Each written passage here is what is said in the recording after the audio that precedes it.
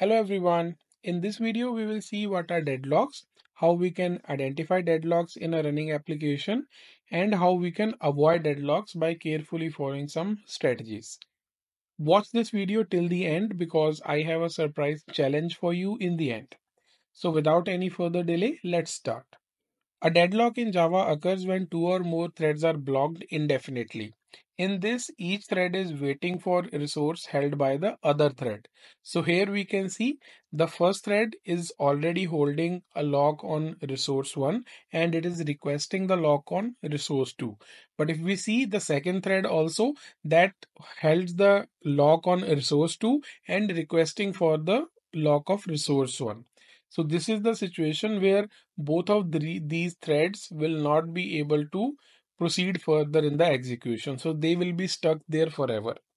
Now let us see a complete code example where deadlock will occur. Here we have two threads T1 and T2 which are created by invoking prepare thread 1 and prepare thread 2 methods. Let us look at the implementation in detail. In thread 1, first it tries to acquire the lock on resource 1 if that is successful, then thread 1 will perform some operation using resource 1 that could take some time. So to represent that processing delay, we are making this thread sleep for some time. Now after that processing is complete, thread 1 also needs to get lock on resource 2 while keeping the lock on resource 1. And if it is successful in acquiring the lock on resource 2, then similarly it will do some processing. Once everything is executed, thread 1 will start releasing the locks in reverse order. First, it will release the lock on resource 2, then on resource 1. Now, if we see, the second thread is also behaving same, but the only difference is order of acquiring the resource locks. In case of thread 2, it will first acquire the lock on resource 2 and then it will request the lock on resource 1. Now, when both the threads are running in parallel, then there are high chances that they will be blocked forever. And this is due to the order and the way they are acquiring the locks. Both the threads will not release the locks on already locked resources and keeps on waiting for the next resource lock, which is not possible. Let me just run this program and show you how these threads are blocked.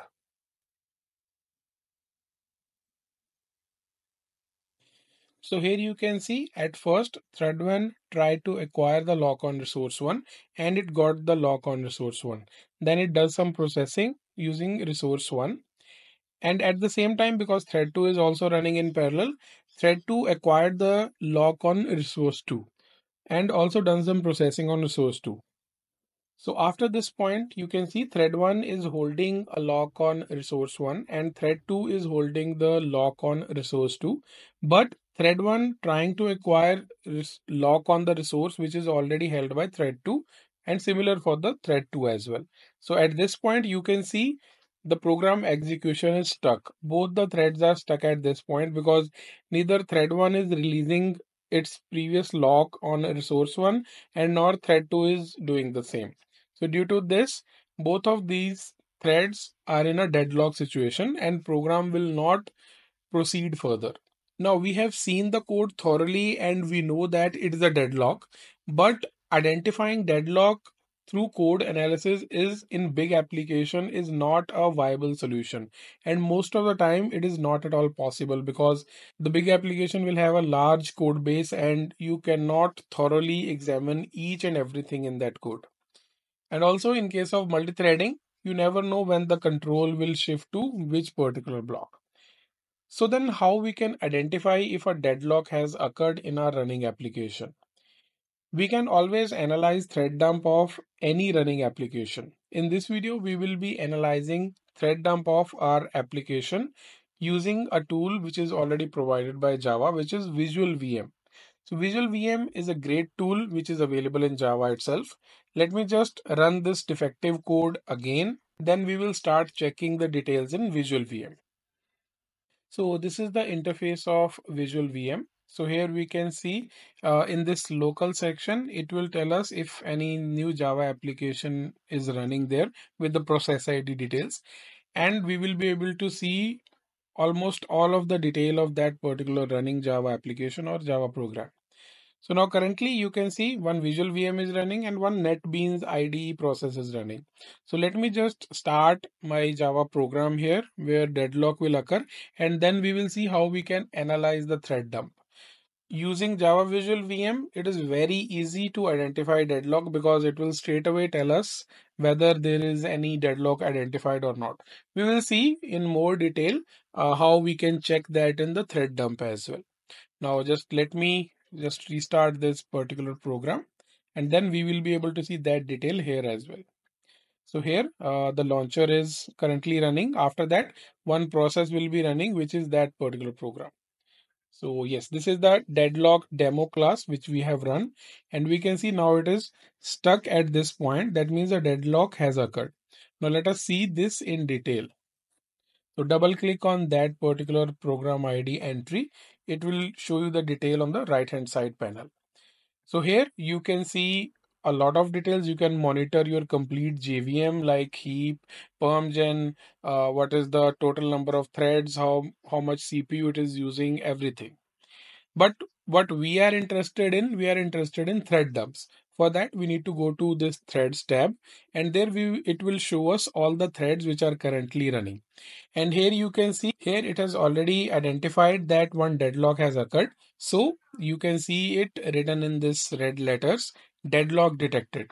So to take now we need to just take a thread dump to get more detail where that deadlock actually occurred, what are the threads which are contributing to that deadlock. But we know from our program itself that these are the two threads, thread 0 and thread 1, which are actually in deadlock.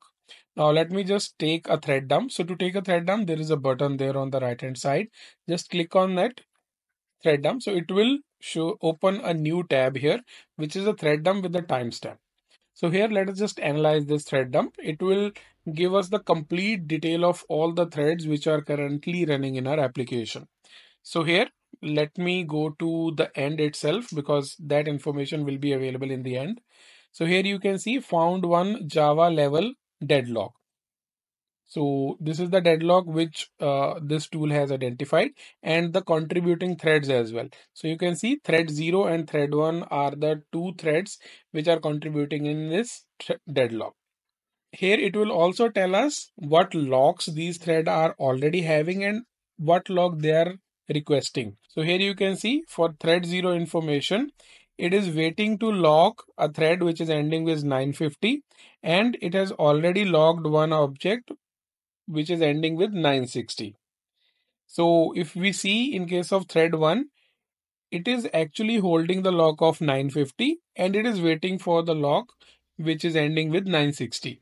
So both of these threads are holding a lock on an object which is required by both and requesting the lock for the object which is already held. So in this way easily we can analyze the thread dump and identify what are the threads which are actually in the deadlock situation so that it can be properly fixed in the code. Now we know what are deadlocks and how we can analyze the thread dump to identify the contributing threads in the deadlock as well. Now let us see few strategies using which we can avoid the deadlocks or fix the issue. The first one is resource lock ordering. So always acquire the resources in a consistent order to prevent circular dependencies. This way, threads won't be waiting indefinitely for the resources held by the other resources. So as we have seen in our previous example, there was a circular dependency. Another approach could be using timeouts. So use timeouts when acquiring resources if a thread is unable to acquire a resource within a specified time it can release the acquired resource and retry. That will prevent the deadlocks. We should use thread pools and executor frameworks to manage thread and resources effectively. This can help in controlling the resource allocation and reducing the likelihood of thread pool.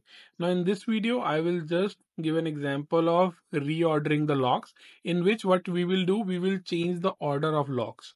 So earlier, if you see thread one was requesting resource 1 and then resource 2 but thread 2 was requesting resource 2 and resource 1 in this order but in this case in the fix what we are doing we are first For the thread 2, we are changing the order of resources.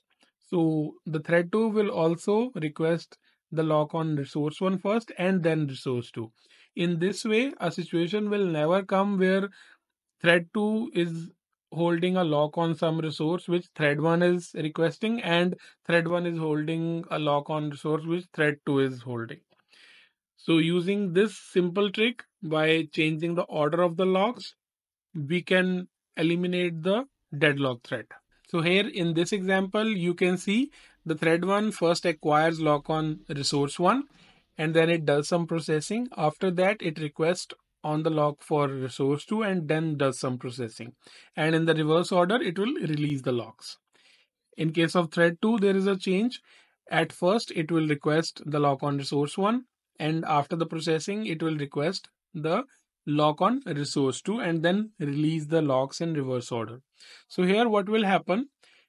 Any thread which acquires the lock on resource 1 will start its execution and the other thread will have to wait. But that wait will not be an indefinite wait because the first thread will complete its execution and release the lock on that resource and then the next thread will be able to pick it up and execute further. So here let me just rerun this program and show you that the processing is completed. So here you can see uh, both thread 1 thread 2 trying to acquire the lock on resource 1 but thread 1 got the lock. So that means thread 2 will have to wait until thread 1 completes its execution. So here thread 1 does the processing using resource 1 then acquire the lock on resource 2 after the complete processing on resource 2 as well it has released the locks on resource 2 and resource 1 so at this point thread 2 was waiting for uh, resource 1 to become free. So then thread 2 lock the resource 1 and does its processing similar for the resource 2 so here you can see the situation of deadlock has been avoided by just changing the order of locks so we need to make sure in our code if it is feasible to make sure uh, to keep the ordering in such a way that it should not result in a deadlock situation. Now, in the beginning of the video, I have told you that there is one challenge for you.